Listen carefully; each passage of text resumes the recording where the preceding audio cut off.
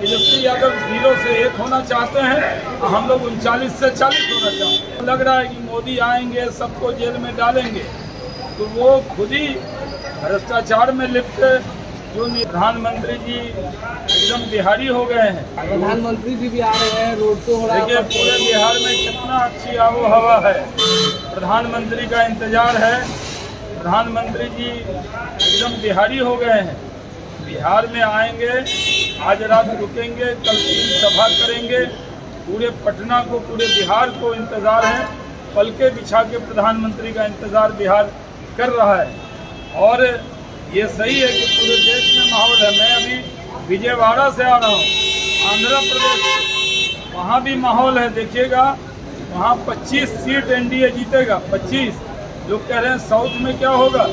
हमने देखा आंध्रा में तीन चौथाई बहुमत चंद्रबाबू नायडू जी को आ रहा है बीजेपी और पवन कल्याण की पार्टी साथ में। तो साउथ में भी कमल है। और संजय झा जी ने सही कहा, अरविंद केजरीवाल जेल के अंदर थे, आत्मचिंतन किया है। उनको लग रहा है कि मोदी आएँगे, सबको जेल में डालेंगे। तो वो खुद ही भ्रष्टाचार में लिप्त जो नेता नहीं, उनको डरा रहे हैं वो। वो कह रहे हैं, अखिलेश यादव भी जाएँगे, ममता बनर्जी भी जाएँगी। वो तो चाहते हैं कि हम तो डूबे सनम, सबको ले डूबेंगे। तो वो लोग डरा रहे हैं उनको, ममता जी को, अखिलेश जी को, सबको, अरविंद केजरीवाल डरा रहे हैं कि सब जेल में जाएँगे। अरविंद केजरीवाल जेल से ऐसे आए हैं, जैसे लालू जी हाथी पे बैठ के जेल गए थे, जैसे फ्रीडम फाइटर हैं, जेल से आए हैं। अरे भाई, वो जेल में बेल भी नहीं है, पेरोल है थोड़े दिन का।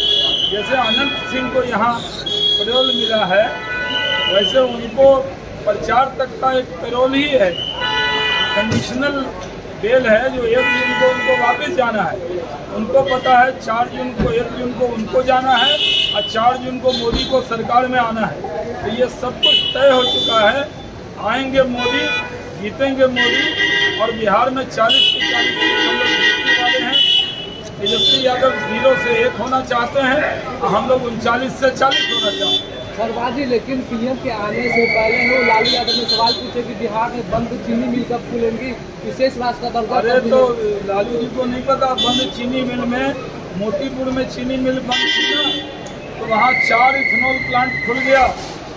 चार ethanol plant mega food park वो भी मिल गया। वहाँ पर एक कोको कोला का प्लांट एक अडानी का सीमेंट प्लांट आप लोग पटना में रहते हैं जाते हैं देखने के लिए।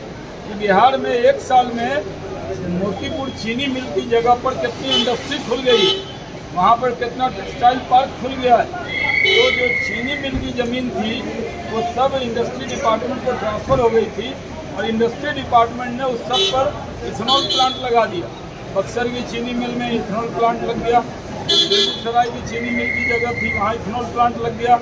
तो जहाँ जहाँ चीनी मिल की जगह थी वहाँ इथेनॉल प्लांट लग गया है। ये लालू जी को बताइए आप लोग। तो ये मोदी ने कहा है प्रधानमंत्री ने कि राहुल गांधी की जितनी उम्र है भी कम सीटें युवराज को आएँगी सही बात है। राहुल जी की उम्र से कम सीट आने वाली है। पिछली बार भी राहुल जी की उम्र से कम सीट आई थी बहुत चौवालीस से आई थी। इस बार तो लग रहा है खींच खाँच के उतनी सीट भी नहीं ला पाएँगे वो।